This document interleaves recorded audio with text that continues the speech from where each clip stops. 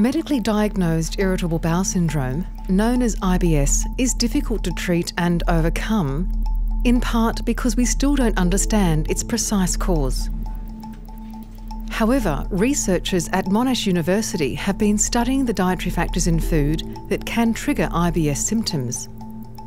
This research has shown that the pain, discomfort, and daily disruption caused by IBS is triggered by certain types of carbohydrates in food called FODMAPs.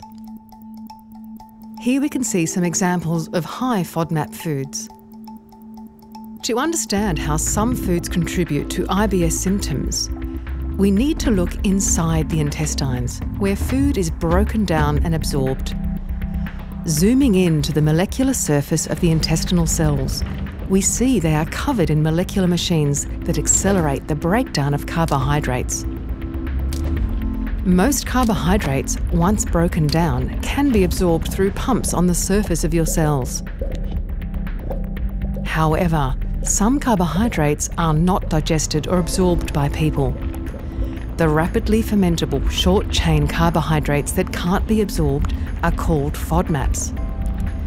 The presence of FODMAPs causes water to be dragged into the small intestine. Also, because they aren't absorbed, FODMAPs travel through your gut to the large intestine. When bacteria in your large intestine get access to FODMAPs, they use them for energy to survive.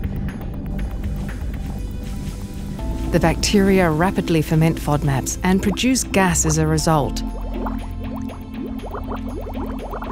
Excess gas production and water retention causes the intestines to expand. When the intestinal wall stretches from distension, the highly connected nerves around the intestines send signals to the brain.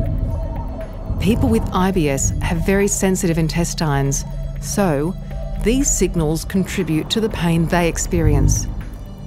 To reduce FODMAP intake and to alleviate the distension, bloating, and other symptoms of IBS, Monash University have developed the low FODMAP diet. People with medically diagnosed IBS should consult a dietitian about trialling the diet.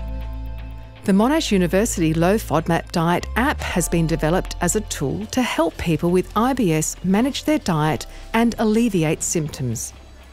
Contact Monash University or visit the website to find out more about the low FODMAP diet.